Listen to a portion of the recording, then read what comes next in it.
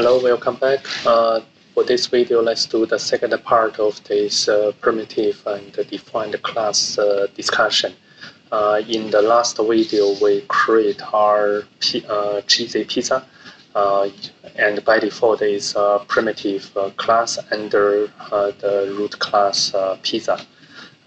this video is all exercise 21. We will do the conversion from primitive to defined and try to see the uh, the uh, the change.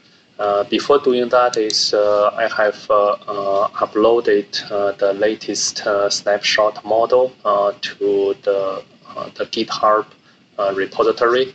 If you come to the snapshot model folder, uh, I have organized this uh, per 10 uh, exercise. So exercise 1 to 10 have this 10 the Uh, days snapshot, uh, and uh, 11 to 12 is uh, days one. Uh, as mentioned, this exercise 19 has no change on the model itself, so we don't have our snapshot. it's the same to the exercise 18's result. so let's do this the simple part for the conversion. The action is simple.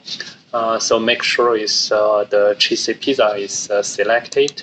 Uh, you can see now has topping some cheese uh, cheesy topping is in the under subclass of pizza and has topping some are in the two restriction.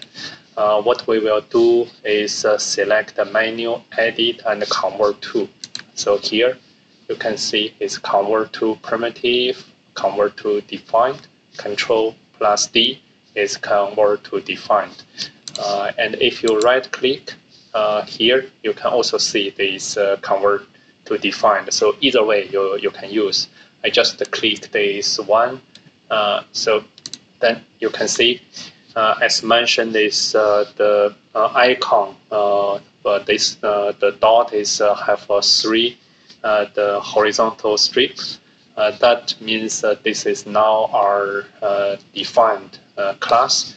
and also you can see here the restriction is moved from subclass of to equivalent to.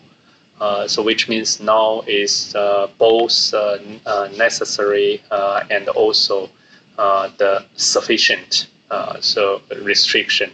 Uh, so equivalent to now is this uh, cheesy so uh, pizza. So what we are uh, looked here is the same as this uh, figure 2 uh, 4.21. Uh, now cheesy pizza is a defined class. and then this what is what we will do is also make sure to expand the cheesy pizza in this tab. So we, we don't have anything. Uh, but we uh, first let's do the save and let's do the synchronized reasoner to see the difference. Uh, so let's see. It's in the asserted, there's nothing.